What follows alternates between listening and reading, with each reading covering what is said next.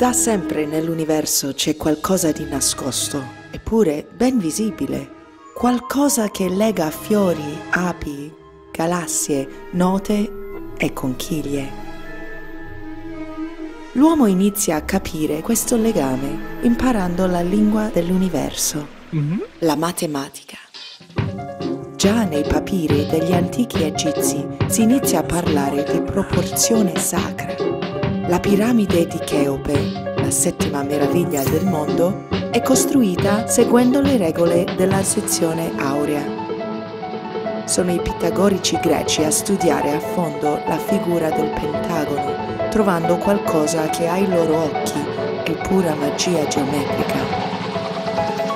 Dopo molti anni, mentre in Italia viene eretta una torre destinata a durare, nella stessa città un matematico di nome Fibonacci scopre, senza rendersene conto, qualcosa di profondamente legato alla spirale aurea.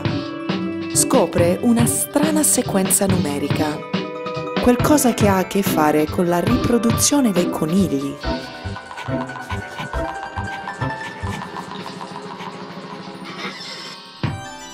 Nel frattempo, oltre ai conigli, si moltiplicano anche gli artisti affascinati dalla divina proporzione e c'è chi si accorge che la sequenza è nascosta anche nella musica, che qualcuno arriva a definire il suono della matematica.